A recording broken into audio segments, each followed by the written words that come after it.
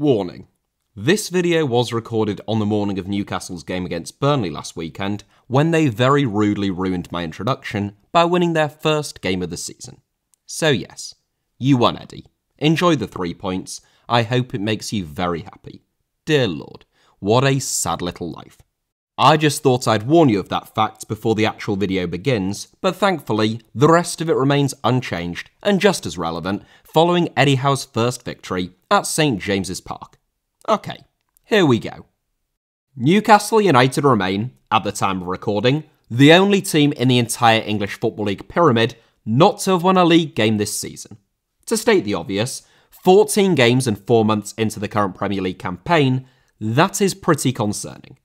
It means that Newcastle are rooted to the foot of the Premier League table, with just 7 points to their name, and the most goals conceded of any team in the division.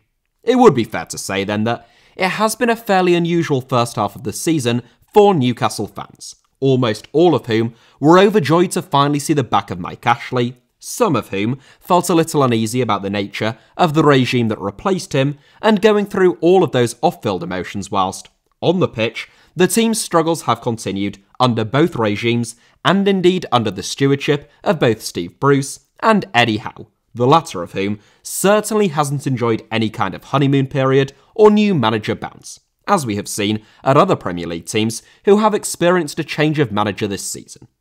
The saving grace for Newcastle fans, seemingly ever since October 7th, has been the fact that the club now has very deep pockets. And, ironically enough, thanks to Mike Ashley's frugality, they also have the freedom to put a lot of that cash to work. Therefore, the January transfer window has long been held up as Newcastle's lifeline this season. A golden opportunity for them to go out and make a real statement of intent, greatly improve the quality of the players at the club, and for Eddie Howe to really put his stamp on this Magpies squad. At the beginning of November, I had several conversations with friends, and even one or two strangers or acquaintances at parties, football matches, or on nights out, who stated very confidently that Newcastle would be fine once the transfer window came around. It was an understandable opinion, probably premised on the idea that the club would win at least a couple of games before 2021 came to an end. But I must admit, I wasn't entirely convinced. Three or four games on, I am even less convinced, and I get the impression that doubt is starting to creep in for a lot of other people as well, both Newcastle and non Newcastle fans alike. So, in today's video, I wanted to talk a little bit, or a lot, about what seems to be a fairly under acknowledged and under discussed dilemma, perhaps even a crisis, that Newcastle United are facing heading into the January transfer window. A dilemma of transfer strategy, budgeting, senior management, and how to deal with the very real threat of relegation from the Premier League, along with my best suggestions on how to solve it. One of the key issues that Newcastle United will face in January, regardless of who calls the shots and where they look to strengthen, is the calibre of player that they're able to attract to St James's Park.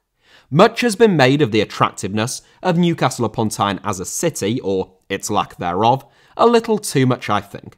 Whilst it is certainly true that some players want to be down south and closer to London, and we have seen that trend continue to play out in recent years, and that Manchester is widely viewed as being the next best thing, so to speak, Newcastle has as much to offer as just about anywhere else. And only if, or when Newcastle start looking to attract truly elite level players on astronomical wages do I envisage that becoming an issue. What is an issue, however, is Newcastle's standing as a football club. Being based in London might help Crystal Palace when trying to sign players, but the reason they can sign much better players now than they could 10 years ago, despite not having moved over the past decade, is because they are an established Premier League team rather than one embroiled in a Championship relegation scrap. The reality for Newcastle United this winter is that they are a team with a high probability of playing Championship football next season a manager with a good domestic reputation, but who is by no means a star likely to be able to attract blockbuster signings all on his own, and particularly for attacking players, they are not likely to be a team that is dominating possession and creating a hatful of chances every week. In terms of some of the bigger name players that Newcastle have been linked with, that could be an awfully tough sell. even if the club is willing to pay over the odds in terms of wages, which presents issues all of its own.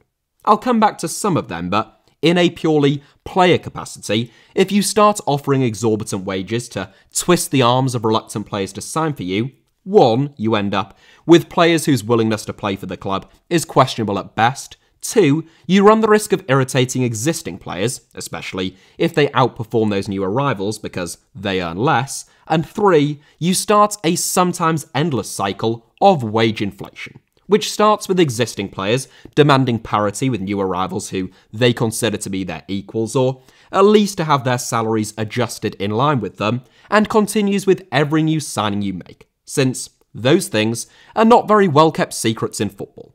On the subject of finances, much has been made of Newcastle's supposed £200 million transfer budget, which has been repeated by a number of newspapers and websites. Though, it's important to note how that figure was arrived at. I don't want to get too bogged down in accounting because I know some people switch off when I do that, but essentially, the Premier League's profitability and sustainability rules dictate how much money a club is allowed to lose over a three year period, a calculation that has become a bit messier and more confusing in recent years due to COVID impact assessments. The long and short of it is that Newcastle, based upon their current revenue figures, could spend a maximum of £200 million over the next three years, as per their official accounts, whilst remaining within the rules. And as far as I can tell, that is the only justification given for claims that the club is willing to spend that amount. Of course, just because £200 million is the maximum amount that Newcastle can spend within the rules does not mean that it is exactly how much they will spend, nor does it dictate when they will spend it. What's more, that number is rather misleading as a transfer budget since Newcastle's profit and loss calculations will be based on a lot more than simply outgoing transfer fees. Wages, for example, now account for a higher proportion of a team's outgoings than transfer fees. Also, the way in which football club accounting works is that when you pay, let's say, £50 million for a player and they sign a five year contract, your accounts will show that as being a £10 million outgoing each year for five years, rather than a one off payment of £50 million, due to what is called player amortisation. That means that, particularly if they signed players on long term contracts, Newcastle could actually spend a great deal more than £200 million. Throw in the fact that that £200 million figure quoted is based upon Newcastle's existing revenue, which is liable to change based upon what division they're playing in, an increase in commercial revenue through fans buying merchandise, and so on and so forth, and you start to realise that the often quoted £200 million is virtually meaningless. The Telegraph reported in October that a source at Newcastle had told them that the club's January transfer budget would actually be £50 million, though they didn't name any source, and given the fact that Newcastle haven't won a game since then, you suspect that even if that were true at the time, it might not be now. Whatever the exact figure, which, as I say, is dependent upon multiple factors and unknowns, it is certainly capped and not limitless. And if you're not careful, you end up in a situation like Everton, where your owner has a huge amount of money but is unable to spend it, or even worse, you end up in a situation where you fall foul of the rules and get hit with fines, embargoes, and all the rest of it. Assuming that Newcastle don't go on a brilliant run of form in December, a month which sees them face Liverpool, Man City, and Manchester United in successive games, along with some friendlier looking fixtures, the club will enter the January transfer window with their weakest possible hand, due to their league position and general predicament. Every team in the world, and especially those in England, knows that Newcastle are rich and desperate. And having met a fair few rich and desperate people in my lifetime, I can tell you that what often happens to them is that they get taken for a ride. By everyone.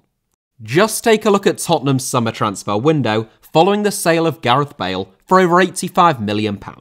Aside from Christian Eriksen, virtually every one of their summer signings proved to be a very costly dud, whether that be £30 million for Erik Lamela, £26 million for Roberto Soldado, or £17 million for Paulinho. To use an example that is even closer to home for Newcastle fans, they were able to profit very nicely from Liverpool's desperation and deep pockets following the £50 million sale of Fernando Torres, somehow managing to get them to cough up £35 million for Andy Carroll. We see these scenarios play out all of the time. It was the same following both Chelsea and Manchester City's billionaire takeovers, which are comparisons that I will return to in just a moment's time. So Newcastle can either spend a fortune this January when they are unlikely to attract players who will take them to where they want to be long term and will have to pay a fortune for the privilege, particularly mid season, which always carries a premium, or they can keep their powder dry, make more modest and precise editions, sending out a message that Newcastle aren't going to be taken for mugs, whilst also holding back cash which can then be put to work when the club has a slightly stronger negotiating hand with both players and clubs, and is able to attract a higher calibre of player. The counter argument to that, of course, is that if Newcastle don't go big this January, looking at the situation they are in right now, they run the extremely high risk of getting relegated. The counter to that counter argument, that makes sense, which I have seen made, is that Newcastle should just accept relegation, not in the sense of being resigned to that fate, but simply acknowledging that it is a distinct possibility and that perhaps in the long term, even going down would be preferable to splashing their cash in January, which would carry no guarantee of survival in of itself, of course, and then having your hands tied behind your back for the next three or four years. I don't think that the club will go down that route, simply because relegation would be seen as a PR disaster and as a humiliation for both Amanda Staveley and particularly for the Saudis, following all of that early takeover excitement where expectations were set sky high with talk of a major trophy within the next five years. I have seen some talk of the impact that relegation might have in terms of Newcastle fans turning on their new regime, but I think they are rather overblown. Whilst it might undermine some of that early optimism, I don't think anyone expected a revelation overnight, and I suspect most would be reasonably patient and understanding.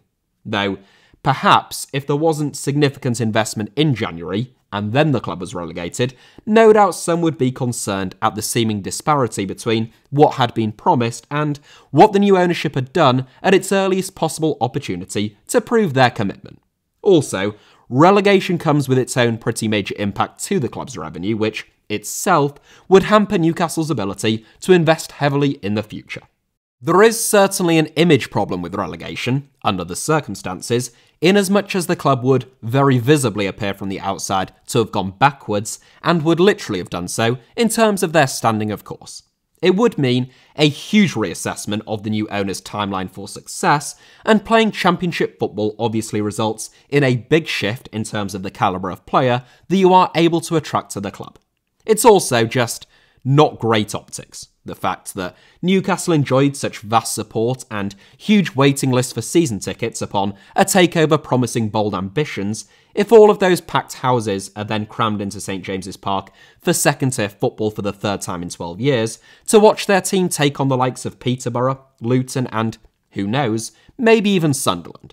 On the flip side, along with the obvious benefits of keeping cash on the sidelines and sending out a message that you won't pay a 20 to 30% premium for anyone that you want to sign if Newcastle were to be relegated, it also gives Eddie Howe the opportunity to have a proper clear out of that squad, evaluate it fully, and possibly even blood some talented young players who might not have got much of a look in in the Premier League.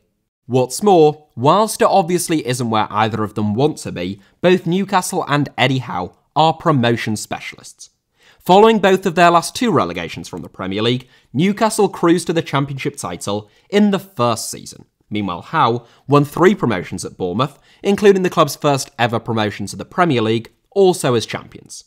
When you talk to a lot of people about Newcastle's predicament, at least when the takeover went through, they drew parallels with both Chelsea and Manchester City's takeovers at the hands of Roman Abramovich and Sheikh Mansour in 2003 and 2008 respectively.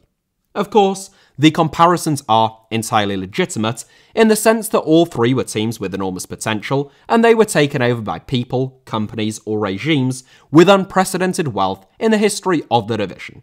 That much is certainly true. However, it is worth noting that there are also some grave differences. Neither Chelsea nor Manchester City were in relegation scraps when they entered their first transfer window under their new owners. Chelsea had finished fourth the season before Roman Abramovich arrived and were therefore competing in the Champions League during his debut campaign, where they even reached the semi finals. That is a far cry from going 14 games without winning a single game in the Premier League. Manchester City were coming from a lower base, though they had finished ninth the previous season, 19 points above the bottom three, and they were managed by the former England boss. Even in the case of Man City, who were far better placed in 2008 than Newcastle are now, they still had trouble attracting the truly elite level players from the word go. Robinho might have been their immediate marquee signing for a British record transfer fee, but even his standing had been greatly reduced by that point compared to just a few years earlier. And people are quick to forget about the likes of Wayne Bridge, Craig Bellamy, Gareth Barry, Joleon Lescott, and Roque Santa Cruz, talented players who played varying roles of importance in the club's rise before the likes of David Silva, Yaya Toure, and Sergio Aguero came in and really took the team onto the next level. In terms of the players that Newcastle have been linked with, most heavily at this stage, some of the names that I've seen include James Tarkowski, Jesse Lingard, and Dusan Vlahovic, and I think it is worth taking a little look at all three. Tarkowski, subscribers to this channel will know, I think is a very good centre back. However, he is also 28 years old, he is out of contract at the end of the season, yet Burnley have reportedly stuck a £35 million valuation on his head. Given the previous two qualifiers, that is a valuation which basically says not for sale, which is a risky strategy on Burnley's part, but also a somewhat understandable one given Tarkowski's importance to them, along with the fact that they will view Newcastle as relegation rivals. What's more, it has been reported that Tarkowski is quite content to see out the season at Burnley, with his preference being a move to West Ham on a free transfer with a fat sign on bonus in the summer. At this moment in time, you can see how that would be a more attractive proposition than joining winless Newcastle mid season in a relegation scrap. Meanwhile, the Hammers have aspirations of going far in the Europa League and of qualifying for the Champions League this season. Jesse Lingard was West Ham's star man in many respects during the second half of last season. You would imagine that the Hammers would still be interested in signing him, and he retains ambitions of representing England on the international stage. With all of that in mind, is he really going to drop down to the bottom place side and risk relegation? Vlahovic would be an absolutely stunning signing, equivalent to Chelsea signing Crespo or Man City signing Robinho early in their billionaire ownership regimes. But I honestly cannot see it happening. Almost any team in Europe would take the big sub, and on current form, I'd say he's more likely to be playing in the white of Real Madrid than the white of Newcastle United next season.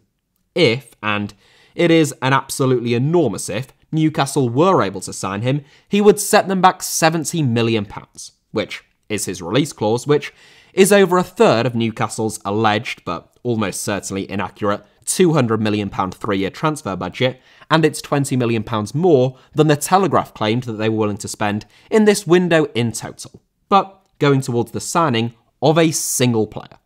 You're then talking about a 21 year old who has never played in the Premier League before basically being tasked with scoring the 10 to maybe even 15 goals in just half a season that would likely be required to keep Newcastle in the Premier League. I think Vlahovic is a fantastic prospect, but that is a heck of a big task for anyone.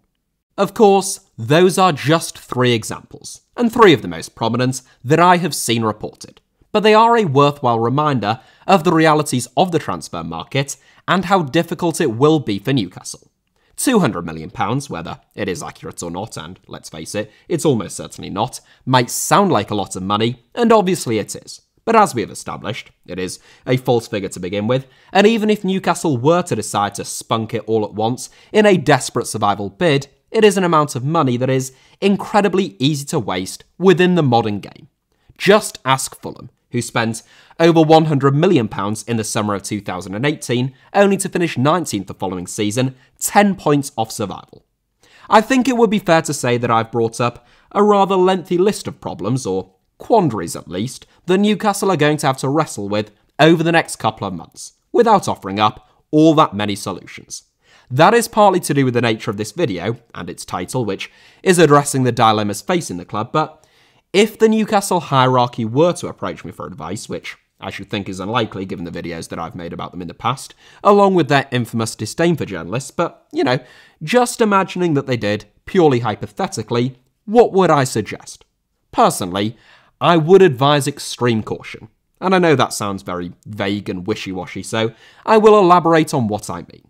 Newcastle don't currently have a director of football and are considering delaying appointing one until after the January transfer window, according to The Athletic.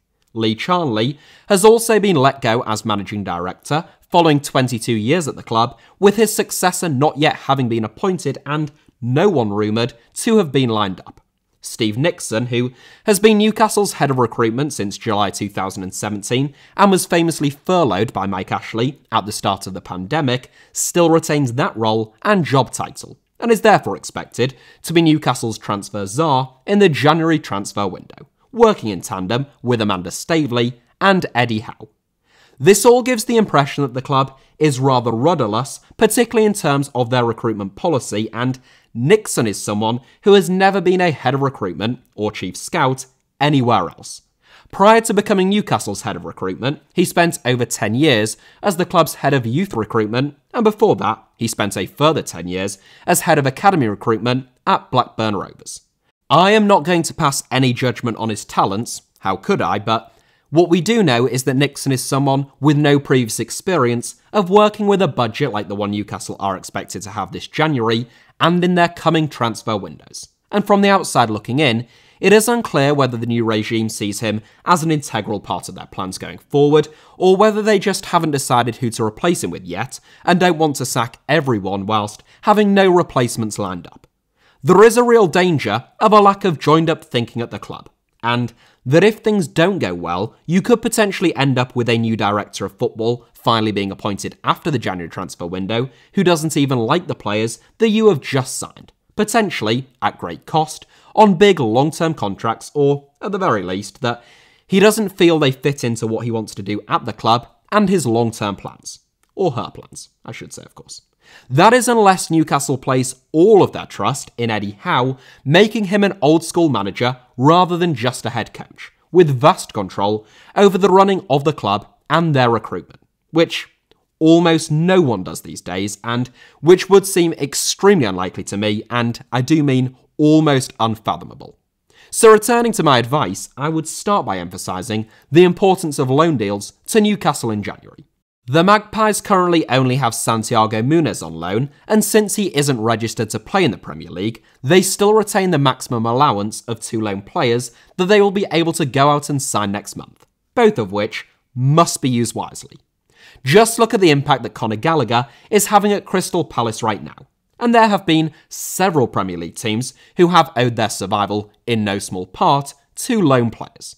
Loan deals will reduce the financial burden on the club compared to signing a player permanently. In terms of their favourability when it comes to long term FFP implications, the player then doesn't have to worry about ending up in the Championship next season because they would only be at Newcastle until the end of this season, while still having the incentive of keeping the club in the Premier League and a possible permanent transfer to a then ambitious Premier League club heading into a fresh season. And if the new director of football, appointed after January, doesn't like them, they're not lumbered with them for the next three to five years, just for a few months where survival is all that matters and then they can start to execute their long term vision. Sorry, sorry, I probably shouldn't use the word execute in relation to anyone who is working for the Saudi state. But yes, loan deals are a win win win win, so to speak, and they might just prove to be the single most crucial aspect of Newcastle's January transfer business. The likes of Jesse Lingard or Donny van der Beek almost certainly aren't going to join Newcastle United on a permanent basis this winter, I would imagine but it might just be possible to convince them of a loan move. Next up on Alfie's unwanted list of suggestions would be to take a look at the cream of the crop in the Championship. Just as West Ham have done with Said Benrahma and Jarrod Bowen, and Crystal Palace have done with Eberechi Eze and Michael Olise. These are all young, hungry, talented players who don't command that Premier League premium, are capable of performing in the Premier League, and even if you do still go down, you know that they are perfectly placed to rip up the championship and carry you straight back up again.